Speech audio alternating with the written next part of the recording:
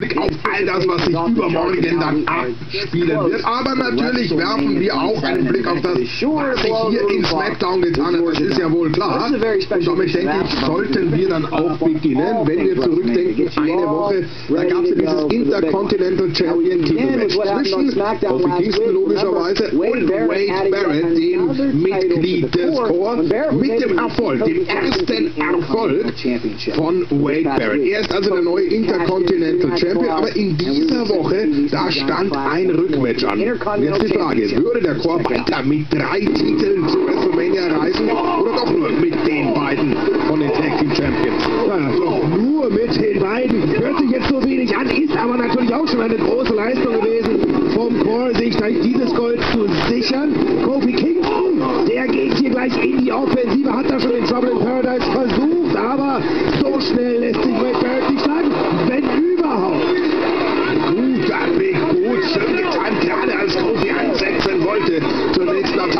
Attacke und Wade Barrett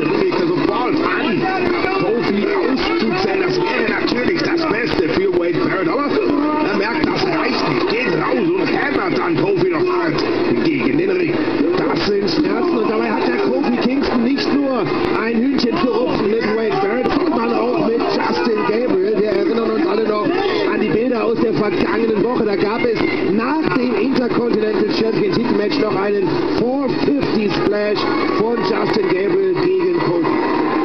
Das sieht momentan aber gut aus für Wade Barrett, der natürlich nur allzu gerne als Champion zu WrestleMania reisen würde.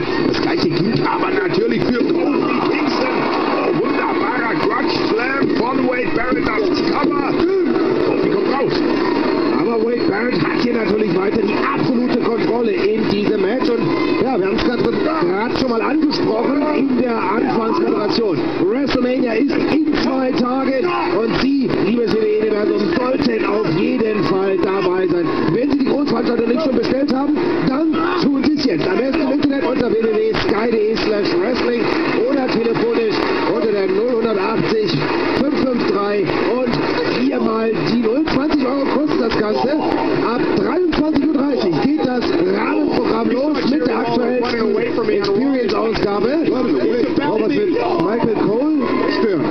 Stören, das ist am besten. Einfach nur, das ist ganz klar. Er wird seine gerechte Strafe bekommen bei WrestleMania. Wunderbarer Standing Dropkick von Kofi Kingston. Es gibt ja das Match Jerry the King Lawler gegen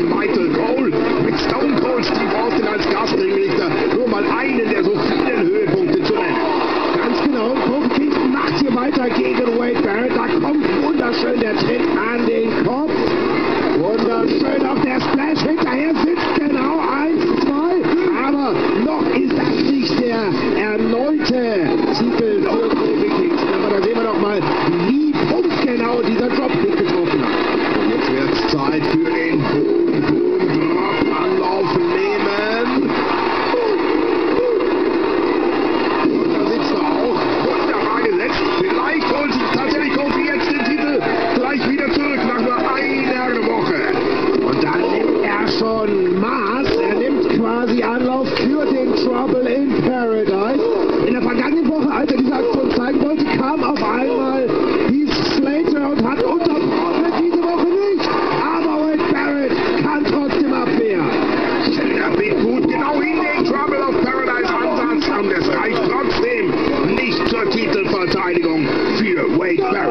es scheint doch tatsächlich, Günther, als habe Wade Barrett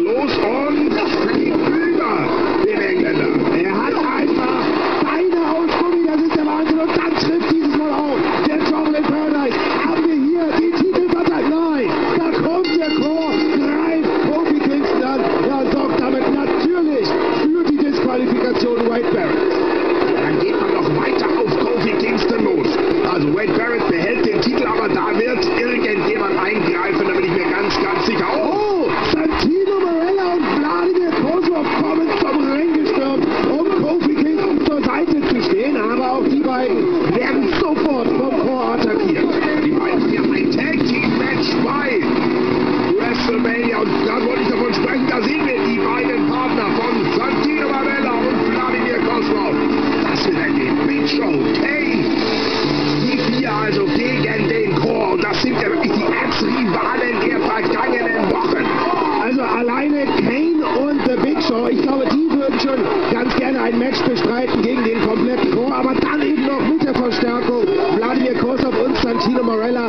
Das wird ein richtig hartes Stück Arbeit für den Chor.